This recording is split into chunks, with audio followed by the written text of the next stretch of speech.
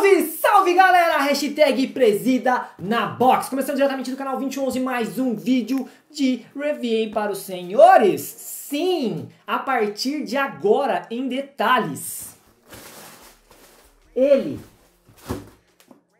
Nike Precision 6. Fala meus queridos, meu nome é Jaime, também conhecido como Presida aqui do canal 2011. Vamos começar mais um vídeo de review, que nada mais é do que uma revisão desse modelo aqui, que é o Nike Precision 6, que eu tive usando aí nas últimas duas semanas. Gostaria de agradecer a todo mundo que é inscrito no canal. Quem não é inscrito, se inscreva, deixa o like comenta aí embaixo que vai achar desse vídeo. E também quem quiser adquirir esse modelo, link na descrição do vídeo o link da compra do tênis, nosso grupo de Telegram, também na descrição do vídeo. Quem quiser entrar no grupo de Telegram, todas as promoções sempre são postadas lá. E quem comprar pelo link, logicamente, está ajudando muito a sobrevivência deste canal maravilhoso que vos fala. Vamos começar o vídeo, como sempre, falando da parte de tração e eu vou mostrar o solado para vocês. Basicamente o mesmo solado do quinto modelo do Precision. Na verdade, basicamente o tênis todo é basicamente a mesma coisa. Eu falei basicamente 35 vezes, mas tudo bem.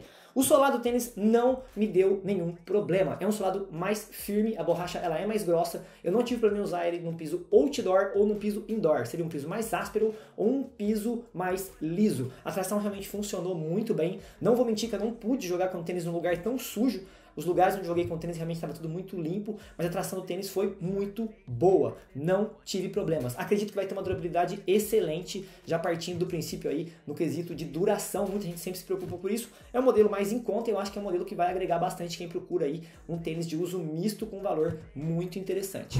Meus queridos, vamos falar agora de amortecimento. Lembrando mais uma vez, as versões anteriores do Precision chamavam Air Precision. Ele tinha um sisteminha Air aqui no calcanhar. Esse modelo já não tem o nome apenas Precision, o que parte do princípio que a entressola do tênis é apenas espuma, apenas espuma Pyro a entressola do modelo. Não é uma espuma assim tão confortável, certo? Já adianto que é um modelo para quem procura um modelo de tênis mais leve, com uma pisada mais próxima do solo, um modelo extremamente ágil, muito ágil. A pisada muito rápida no chão, você realmente sente muito perto do chão quando você usa o tênis.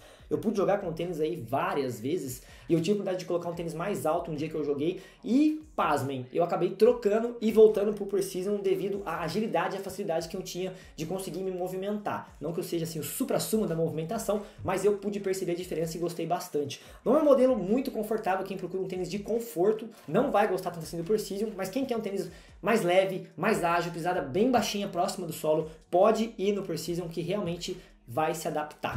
Meus queridos, vamos falar agora de materiais. Outra boa característica também aqui do Nike Precision. Lembro mais uma vez, link na descrição. Quem comprar pelo link está ajudando muito o nosso canal. Quem quiser promoção, link do grupo de Telegram também na descrição. Vou começar falando para os senhores que o tênis é basicamente formado por malha. Todo o cabedal do tênis formado por malha. Quem quiser mais detalhes, card do box aqui no cantinho, dá uma olhada porque realmente a versão 5 é basicamente a versão 6. Não só a parte de entressola e solado, mas também a parte do cabedal poucas modificações, nada muito diferente. Como eu disse, material bem simples, compõe o cabedal do tênis. Eu gostei muito porque ele encaixa realmente muito justo no pé. É um tênis mais estreito, mais fino e mais comprido, mas eu gostei bastante. O sistema de amarração do tênis é muito bom, como era também no modelo anterior. O cadarço desliza muito bem. A propósito, cadarço simples, um cadarcinho quadrado, bem simplesinho, mas funcional. Forração interna também, o tecido bem simples, bem básico, mas como eu gosto de dizer, não adianta ter nada muito premium desde que não funcione. O tênis é simples e muito funcional. E isso agregou bastante na característica do Precision, até porque é um tênis mais em conta. E quando você está de um tênis barato e bacana para jogar, o Precision se encaixa realmente muito bem. É muito bonito, o tênis fica muito bonito no pé, realmente a estética dele bem bacana, como era a versão anterior. Ele é um cano baixo, não preciso nem falar isso, dá para perceber. E já aproveito para falar para os senhores também o peso. Nike Precision 6, tamanho 42, 397 gramas. Confesso que eu achava que o tênis fosse um pouquinho mais leve, mas ainda assim, sem maiores problemas com a questão peso. Você praticamente não sente que o tênis está no seu pé. Vamos falar um pouquinho agora de forma e suporte. Outra boa característica do Nike Precision 6. O encaixe do tênis eu adianto aos senhores que quem tem os pés largos, talvez um número a mais Saulo tem o pé mais largo, o peito do pé na parte alta dele é um pouquinho mais alta e não chegou a incomodar. O meu pé é fino e comprido, também não chegou a incomodar. Mas eu creio que quem tem as laterais do pé mais larga, com certeza vai ter problema aqui com o Precision. Ele não é um meio boot, a língua é totalmente solta, o que facilita bastante você adequar e formatar o tênis. Por isso que eu falei que quem tem o peito do pé mais alto, provavelmente, mesmo no número normal, deva dar certo, porque a parte da língua ser solta permite que você amarre o cadarço um pouquinho mais solto em cima. Já lateralmente falando, não tem muito o que fazer porque ele vai acabar apertando. Diferentemente do Kari Low 5, fazendo um paralelo, os dois tênis que foram bem parecidos aqui quando a gente recebeu, o Kari também é comprido e estreito, mas ele tem um pouco mais de espaço lateralmente falando. O Precision já não tem. Então, galera dos pés largos, se atentem que eu acho que uma numeração maior, lateralmente falando, e na ponta do pé também,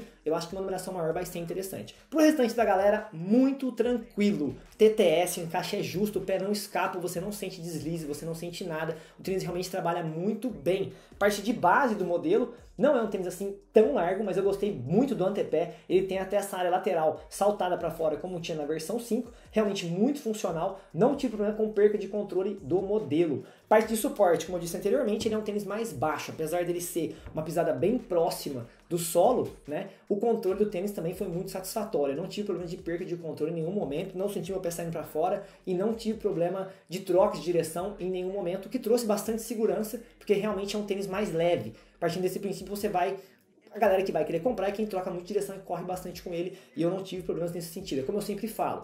Galera, Parte de suporte, cano médio, cano baixo, cano alto, o que o tênis vai oferecer é uma firmeza maior no seu pé, mas proteção para o tornozelo de você torcer ou não torcer, ou torcer e acontecer uma coisa muito mais séria, apenas com uma tornozeleira protegendo o pé. Eu usei com a tornozeleira, ele trabalhou até que bacana, não foi muito sentido assim com a tornozeleira, porque ele é um cano muito baixinho, então o tênis acabou ficando é, fora da tornozeleira, vamos dizer assim, eu uso aquela que amarra na canela, certo? Diferentemente de um cano médio e de um cano alto, que você usa com a tornozeleira, ele fica mais justo, mais firme, logicamente que você vai sentir seu pé bem encapsulado. O que foi o caso aqui do Precision, eu senti o pé bem encapsulado aqui embaixo, mas com a tornozeleira já não fez tanta diferença assim, embora eu tava com a proteção extra, que como eu disse anteriormente também, é a tornozeleira aqui no caso. De uma maneira geral, parte de forma e suporte do Precision muito tranquilo, um tênis muito leve, muito fácil de controlar e eu não tive muito problema em correr com ele.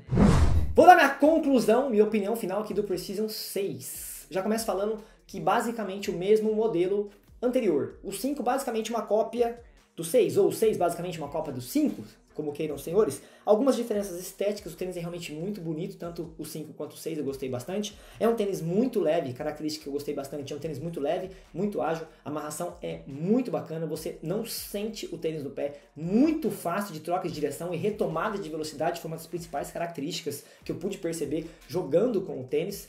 Pontos negativos para quem gosta, não é um tênis é, muito confortável, então quem procura algo confortável que vai proteger realmente contra todos os impactos aí, não é um modelo que vai trazer algo nesse sentido. Eu acho que seria a característica mais marcante do modelo. Também a questão dos pés largos, quem procura um tênis aí que tem o pé um pouco mais largo, provavelmente é um tênis que não vai se adequar. Tudo o resto, todo o resto, né? Um tênis muito bacana, vocês não vão ter problemas em usar o Precision 6, de acordo com todas as características que eu alavanquei aí nos itens anteriores. Meus queridos, espero que vocês tenham gostado. Mais um review bacanaço aqui do canal 2111. Não deixe de deixar o like, curtir compartilhar. Link na descrição. Quem comprar por lá está ajudando o nosso canal. Um abraço, tamo junto! Valeu!